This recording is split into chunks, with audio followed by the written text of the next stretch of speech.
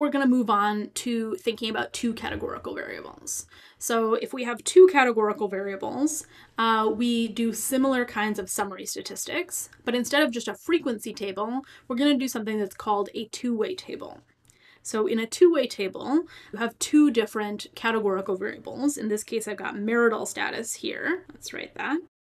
And then my other variable here is employer. And employer is another categorical variable which has two categories that you're self employed or you work for someone else. So in a two way table, it doesn't matter which variable you put as the rows and which you put on the columns, but this is a summary of my big data set. So I had, you know, more than 2,000 people, 2,000 rows or observations in my original data, and now I've condensed it down to this little two way table.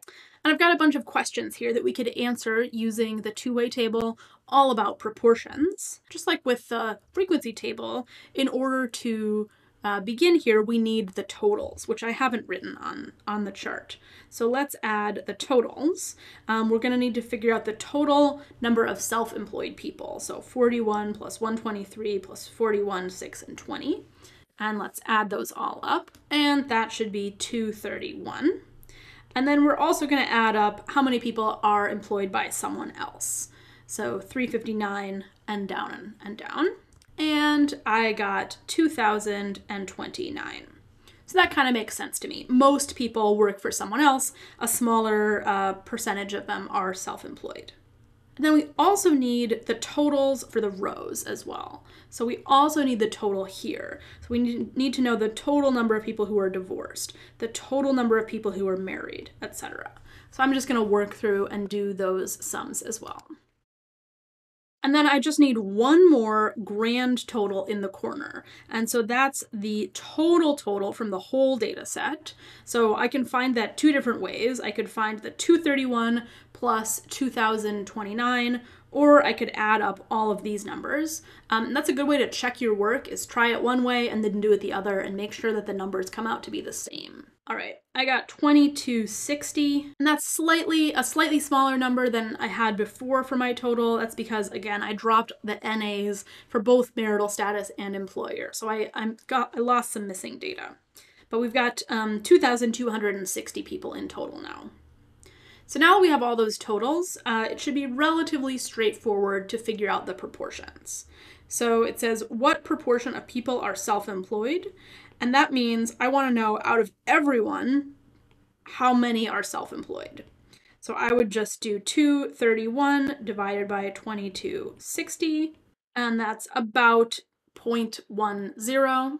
Then I'm going to think about what proportion of married people are self employed. So that means I'm going to think about this row in my data set. Out of the married people, what proportion of them are self-employed. So the bottom of my fraction is going to be 979 and the top is going to be 123. And I got 0.126-ish. I think I'll skip the next one. We could talk about it in synchronous class, and then we'll do the last one, what proportion of self-employed people are married? And so for that one, we're gonna think about just in this column, just out of the self-employed people, how many of them are married?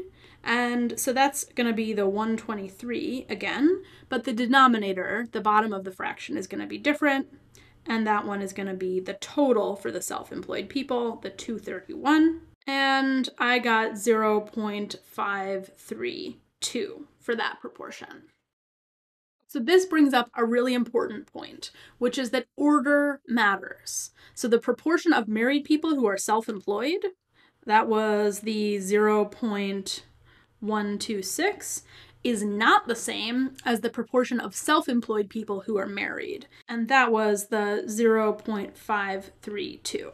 So 0.126 is not equal to 0.532, so it matters what you use as the denominator of your fraction. So you have to read the questions pretty carefully to figure out what it's really asking for. Another type of summary statistic that we sometimes do when we have two categorical variables is a difference in proportions. So this is a way to see if the proportion of a variable is different based on a different variable. So for example, the proportion of self-employed people who are married minus the proportion of self-employed people who are divorced. So we've got that 0.53 uh, minus the 0.18, and we could find that difference uh, 0.35. So those two proportions seem pretty different from one another. Um, as we go on in this course, we're gonna learn how to use statistics to say if they're statistically different from one another, but those look pretty different uh, from one another to me. So let's find another difference in proportions. We're going to find the proportion of divorced people who are self employed, the proportion of divorced people who are employed by someone else, and then we'll find the difference in proportions. So I think I'm going to leave that one for synchronous class. So those are the summary statistics, the numbers that we can use to summarize two categorical variables. Of course, we also have data visualizations or pictures. So I could do a bar chart, but I could uh, make it kind of a side-by-side -side bar chart. So I could look at uh, the divorced people, and see, okay, most of them work for someone else, but a small proportion of them are self employed. Uh, and it looks like that trend is the same across all the marital statuses. More people work for someone else than are self employed. And again, I could probably read off some of these numbers or at least estimate them based on the bars. So, you know, the number of divorced people who work for someone else you know, it's between 250 and 500. Maybe it's, you know, 375, something like that. Uh, that would be my guess. But again, mostly the idea of having a picture is to show you the overall trend. Another option, if you didn't want to do a side-by-side -side bar chart, is to do a stacked or segmented bar chart. And with this one, the bar shows me how many people total are divorced, or how many total people are married. Again, almost a thousand married people in my data set. And then it, the colors show me of those how many people work for someone else and how many of them are self-employed. Um, and again, you can kind of see the overall trend. Maybe it helps you see the proportions in the categories. It looks like a larger proportion of people are self-employed in the married category than in these other these other categories. And of course, um, order matters for bar charts too. If I wanted to, I could do a side-by-side -side bar chart where I have self-employed and someone else um, as my categories, and then put side-by-side -side all the different marital statuses. And this would let me see, you know, how many people uh, have each marital status within a particular employment status. Um, again, I could do the stacked bar chart. Uh, I think this one is harder to read than the, the one the other way around, but depending on the story you're trying to tell, it could be the right choice. So let's just do a little bit of a summary. So for one categorical variable, we've got the summary statistics, which were a frequency table and a relative frequency table. And then we had some data visualization, which was a bar chart or a pie chart.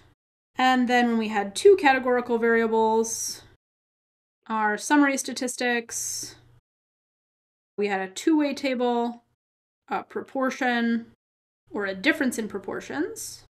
And then for data visualization, we had a side-by-side -side bar chart or a segmented bar chart. And we're going to do this same kind of exploratory data analysis with summary statistics and data visualizations for every type of variable we encounter in this course.